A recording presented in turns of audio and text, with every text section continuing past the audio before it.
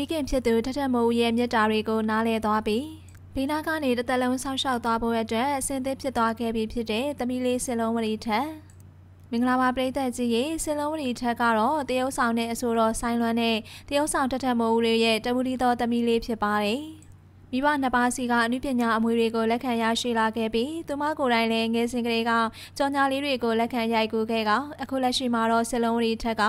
အနုပညာအလုပ်တွေကိုကြောင်းအားတဲ့အချိန်တိုင်းစဉ်ဆက်မပြတ်လုပ်ကင်လျက်ရှိတာပဲဖြစ်ပါတယ်။ငယ်စဉ်ကလေးဘဝကလေးကမိဘနှစ်ပါးကကွဲကွာသွားခဲ့တာကြောင့်ဖခင်ဖြစ်သူနဲ့သာလိုက်နေခဲ့ရပြီးမိခင်ဖြစ်သူနဲ့အနေဝေးသလိုဖြစ်သွားခဲ့တာလည်းဖြစ်ပါတယ်။ပုံစံမတူစရိုက်မတူခံယူချက်တွေမတူကြတဲ့မိဘနှစ်ပါးကြားထဲမှာ စလုံးဝရီထက်လေးကတော့နှစ်ယောက်စလုံးကိုချစ်တဲ့စိတ်နဲ့မိဘနှစ်ပါးအတွက်လိမ္မာရေးချရှိတဲ့သမီးအလိမ္မာလေးဖြစ်လာခဲ့ပါတယ်။ဒါပေမဲ့ပြီးခဲ့တဲ့နှစ်အတွင်းမှာတော့ဖခင်ဖြစ်သူဆိုင်လွန်ကဒုတိယအိမ်နောက်ပြုသွားခဲ့တာဖြစ်ပြီးအဲဒီကိစ္စတွေနဲ့ပတ်သက်ပြီးတရုတ်ဆောင်တထမိုးနဲ့လည်းကတောက်ကစားဖြစ်ခဲ့ကြရပါသေးတယ်။အခုနောက်ပိုင်းမှာတော့စလုံးလေးကမိခင်ဖြစ်သူတထမိုးရဲ့မြတ်တာတွေကိုနားလည်သွားခဲ့ပြီးမိဘကျေးဇူးဆက်နိုင်တဲ့သမီးအလိမ္မာလေးတစ်ယောက်ဖြစ်အောင်စူးစမ်းနေတာလည်းဖြစ်ပါတယ်။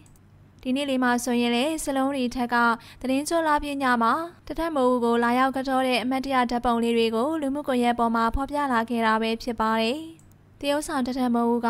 သတင်းချောလာပညာလေးမှာမိမိသမီးအလိမ္မာလေးရဲ့ဂါရဝါဆိုပြီးတော့စလုံးလေးကမန္တလေးမှာရောက်နေတဲ့မိမိထထမိုးကိုတတိတရလာရောက်ကြောတဲ့ဓာတ်ပုံလေးတွေကိုလူမှုကွန်ရက်ပေါ်မှာဖော်ပြလာခဲ့တာပဲဖြစ်ပါတယ်။ ပရိသတ်တွေအနေနဲ့ကလည်းဂျီနူးဆရာထထတို့သားမီးနှစ်ယောက်ရဲ့ပုံရိပ်လေးတွေကိုကြည့်ပြီးသဘောကျနှစ်သက်ခဲ့ကြရပါတယ်။မိဘအပေါ်မှာတည်တက်လိမ်မာတဲ့စစ်လွန်လေးတယောက်လေဘဝမှာအမြဲတစေအောင်မြင်မှုတွေပဲရရှိပြီးတော့မိဘနှစ်ပါးရဲ့မြတ်တာတွေနဲ့တာယာအေးချမ်းတဲ့ဘဝလေးကိုပိုင်ဆိုင်ရပါစေလို့ဆုတောင်းပေးလိုက်ရပါတယ်ရှင်။